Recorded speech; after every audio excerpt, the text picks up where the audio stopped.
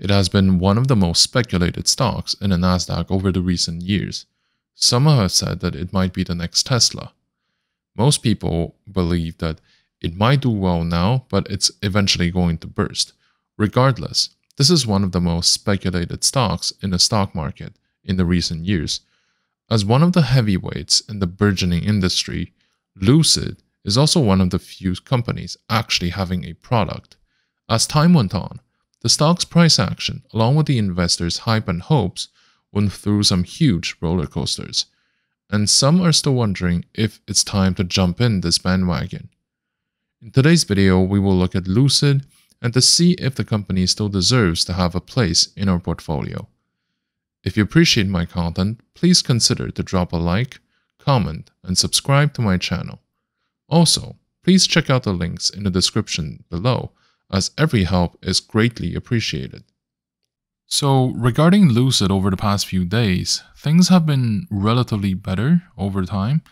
And more importantly, I think that the fact that it went back above $8 is really good. $8 is a psychologically significant level for many people who want to buy the stock.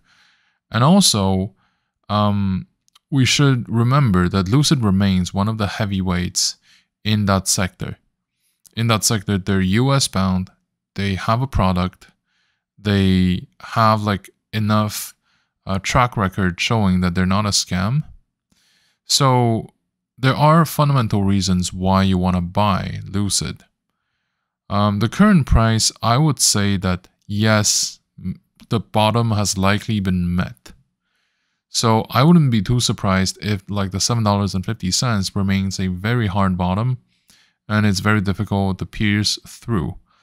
Um, with that being said, the like the journey going back above $10 is also like if anything more significant.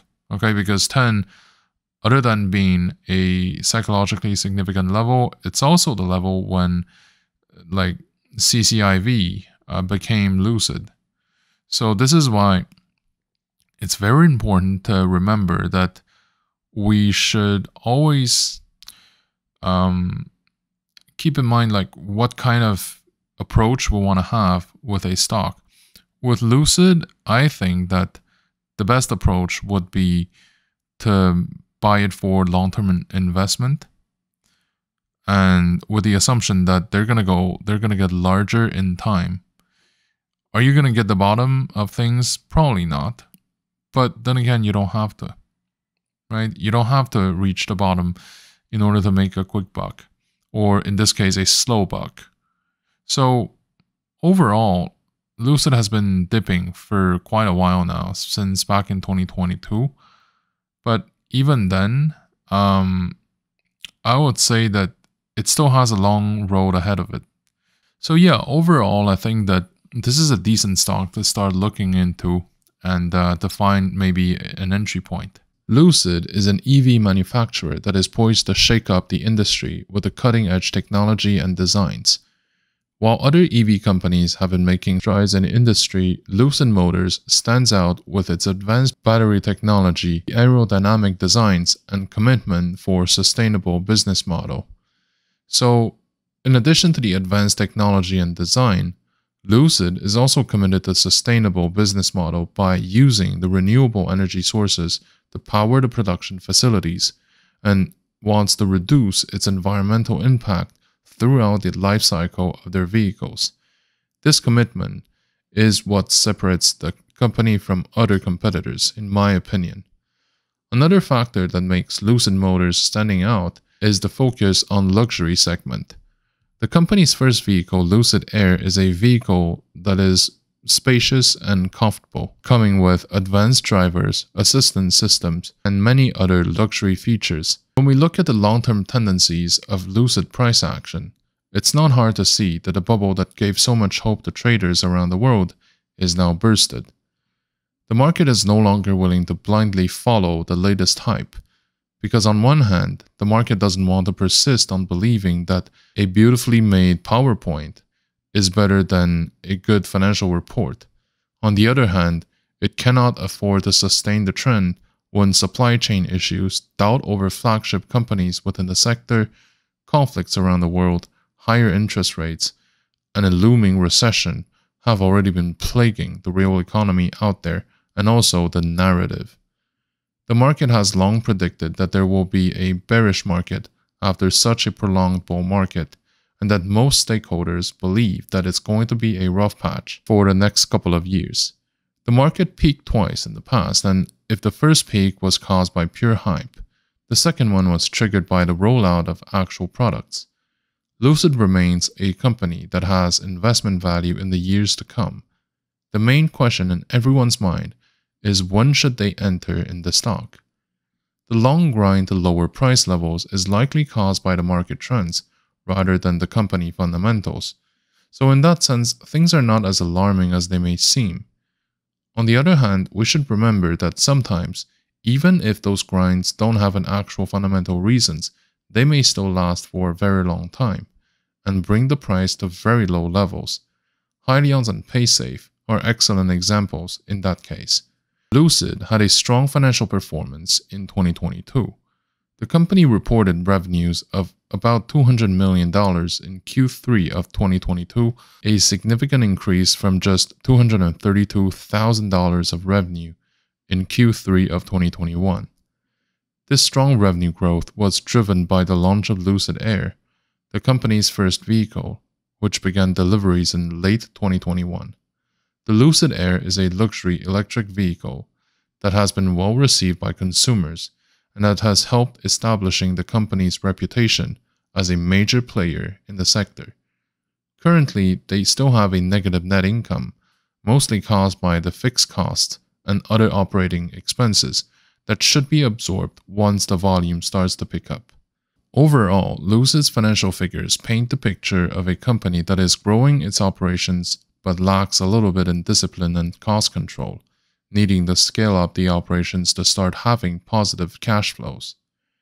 Now, let's also cover the shareholder composition in Lucid, because this is a very important factor to determine if the company is better for trading or investing. Lucid is currently held by the institutional buyers for the most part, at more than 70% of the total float, this suggests that the price volatility of Lucid will be lower than other growth stocks, mostly owned by retails. The reason why this might be the case is because institutional shareholders have far more diversified portfolio and can afford to wait, so they don't mind the short-term volatilities. They also tend to stay in for a longer period of time, which is also a good sign for those of us who want to stay for the long run. Some key behavioral differences between institutional and retail shareholders include their investment horizon and also their level of involvement in the corporate governance.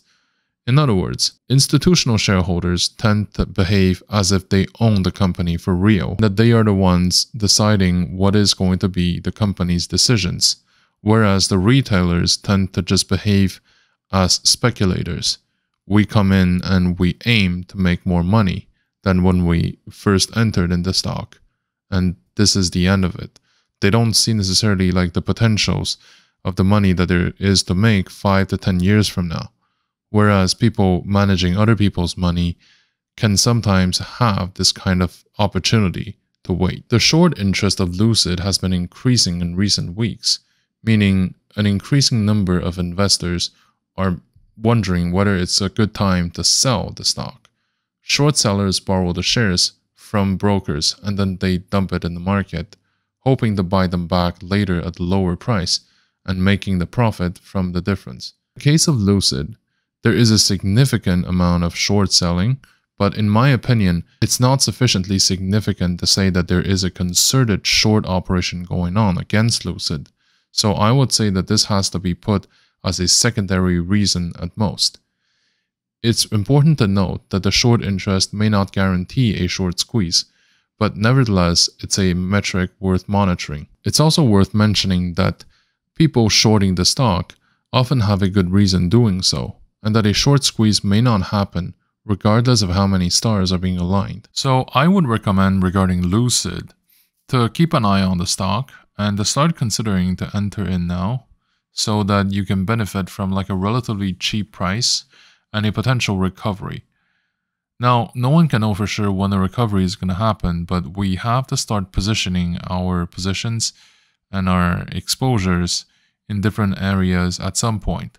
Now is a, in my opinion, a decent point because um, the stock has went down by a lot already.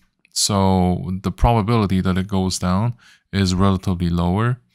And also, um, Lucid does have like a significant amount of backing behind it, right? So it's not because it's no longer reaching like $40, $50 that automatically um, things are not going to be like that for the foreseeable future. On the other hand, we have to be ready to wait for a long period of time. Like, for example, are you willing to wait two or three years before seeing the fruits of your investment?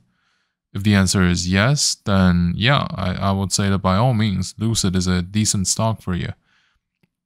Now, usually with this kind of stock, I wouldn't um, put in like a hard limit on how much money I would recommend you to the risk, but I would say that generally speaking, try to keep it around 3 to 5% of your portfolio.